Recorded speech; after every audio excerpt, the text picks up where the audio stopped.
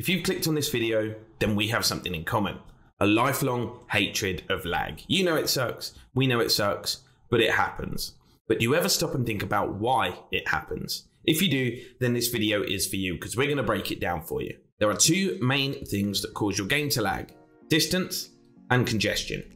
Let's go through congestion first of all. You all intuitively know that things such as large file downloads cause congestion on your network. But have you ever wondered why? What's actually happening? To understand this, we first need to understand how data is transferred across networks. This bit gets a little bit sweaty, but I'm going to go very slowly, nice and clearly, so just hang in there, okay? This bit is crucial. There are two main protocols in which internet data is transmitted, TCP and UDP. The best way to remember these, I've found, is to think of them like shipping options, but for the internet. TCP is the super reliable shipping option. It makes sure that the data that it's sent has been successfully received by the recipient. If it works out that it hasn't, and the data hasn't been received, it will simply resend it. This protects the quality of the data, making it the ideal protocol for things such as file downloads, emails, and many other things. UDP is the faster of the two shipping options, but it's less reliable. It doesn't check to see if the data that it sent was received by the recipient. Instead, it just continues to send the data. But the fact that it's faster than TCP makes it the ideal protocol for things that are happening quick in real time. Gaming, for example, Zoom, another application that it's used for, things like that. You might think, yep, UDP, TCP, that's cool, but what does it have to do with congestion? An awful lot. So much so that TCP has its own congestion control measures built in. Let me give you a real life example to help me explain it. Let's say there's a new Warzone update. The menu are going to download it. We hit download at exactly the same time. You're on a 100 meg connection and I'm on a 10 meg connection. We know instinctively that your download is going to happen faster than mine.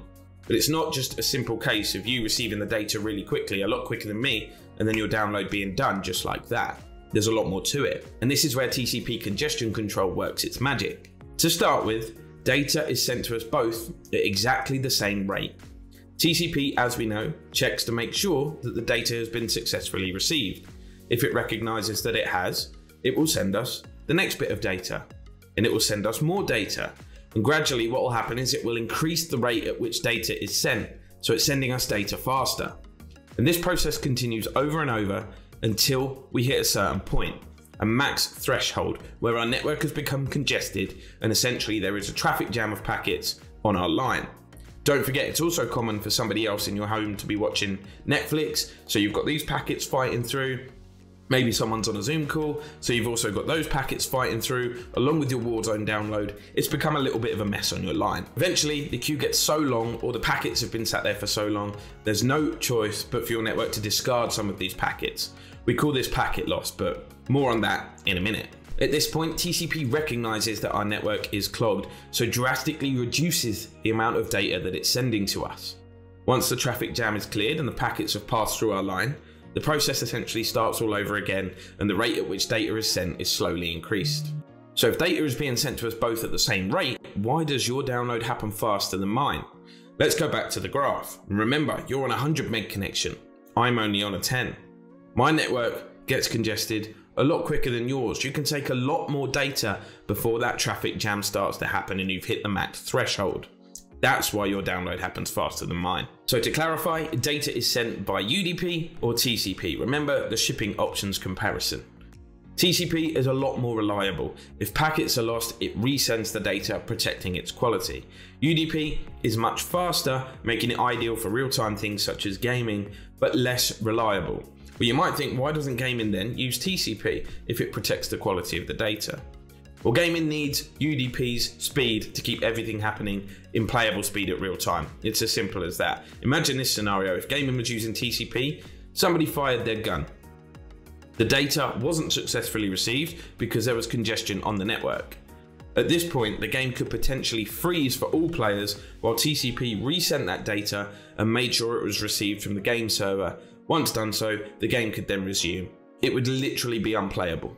UDP, as we explained, much, much faster. Instead of making sure that each packet was successfully received, it just continues to send new packets.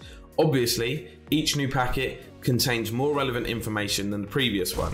So yes, packet loss does occur from time to time. You know, there's times where it's skipping in game. That might be what's happened, but the new packet comes in and replaces it so the game can continue. Now the other factor, aside from congestion, is distance. Now the problem with distance is pretty self-explanatory. When we're talking about distance, we're talking the distance between you and the game server, because as we know when we're online gaming, data is traveling from you to the game server and back again. The time it takes for this to happen is measured in milliseconds and it's what we refer to as ping. Now here on the screen are the game servers for some of the most popular games played today. I'm in the UK and as you can see the further away from the UK we get, the longer it's going to take for the data to complete its journey. It's just like travelling in real life really, the further the distance you have to travel, the longer it's going to take. You might think, well that's okay, data can travel at speeds close to the speeds of light. And you're right, it can. But even at those speeds, it's still going to take some time for the data to complete its journey. And of course, it doesn't happen as the crow flies. It has to follow international networking cables. They don't link countries directly all of the time. So that's distance and congestion explained in a nutshell, but there are also a couple of other things that are worth considering too. One of them being the stability of your line. We often assume that our connection is just performing as it should be, without any issues, but sometimes that's not the case, and it's not always your fault. You can find some free software in order to check this. One of them I'm going to link down in the description for you. It's called Ping Plotter. And what you're looking for is a nice, steady, consistent ping without any major spikes on your line. If that's not what you're seeing, it might be worth getting in touch with your ISP and giving them a call just to make sure that there are no issues from their end. Then you have other factors such as whether you're gaming with a wired or wireless connection. Whenever possible, we always recommend a wired connection because other obstacles and other electronic devices are just less likely to interfere. Wi-Fi can be vulnerable to that. Finally, the quality of your TV or monitor or the controller that you're using. Does it have a high refresh rate? Is the signal from your wireless controller unobstructed? Are you using a wired controller? Have you got the latest graphics drivers installed? All of those things can also play a part, so it's worth doing your research as well. The good news after all of this doom and gloom is that we can help. And if you don't know who we are, we're NetDuma, and our award-winning router operating software, Duma OS, can help solve all of these network problems for you. As we explained earlier, distance is a major cause of lag. Our patented GeoFilter is the only real solution to this problem. You could move house, of course, but one, that seems a little bit excessive, and two, you're still probably going to bounce around from server to server from time to time. The GeoFilter enables you to play on your favorite servers every single time you play online, guaranteeing a consistent ping. Simply use ping heatmap to find your favorite servers and then use the geofilter to draw a radius around them and all outside connections will be blocked. It's as simple as that. So that's distance sorted, but what about congestion? With network priority, formerly known as QoS, there are three features, congestion control, bandwidth allocation, and traffic prioritization.